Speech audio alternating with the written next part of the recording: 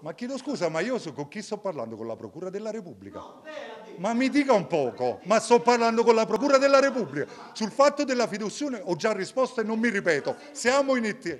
Sull'assegno non ho lei non ha il diritto di chiedermi. Io ho detto che ho staccato un assegno che ha gli atti, ha gli atti dei commissari e dell'amministrazione. No, io non sono, non, non sono, in dovere di dover rispondere. Il presidente parla solo con la procura a quanto pare, ma ha dimenticato che tutta, e diciamo tutta la piazza vellinese vorrebbe fare le stesse domande che il collega ha posto in sala stampa a Mauriello. Ed allora cosa vuol dire? Non dare spiegazioni a chi fa sacrifici e ci mette impegno e sudore per seguire le sorti dell'Avellino? La risposta della città per la campagna abbonamenti c'è stata e quindi è giusto dare tutte le spiegazioni necessarie per filo e per segno. Una situazione del genere non si era mai vista prima. Non sono arrivate risposte a tutti coloro si siano interessati alla l'acquisto del club e si arriva anche a chiedere un confronto pubblico. Si sta giungendo ad un punto di non ritorno. Avellino vuole chiarezza, vuole che De Cesare ci metta la faccia perché il presidente Mauriello continua a dire che non è tenuto a dare risposte. O forse alla prossima conferenza stampa ci sarà bisogno del procuratore Cantelmo, così magari tutti i tifosi potranno capire per bene cosa sta succedendo. La verità è una sola, non c'è la volontà di cedere e di farsi da parte.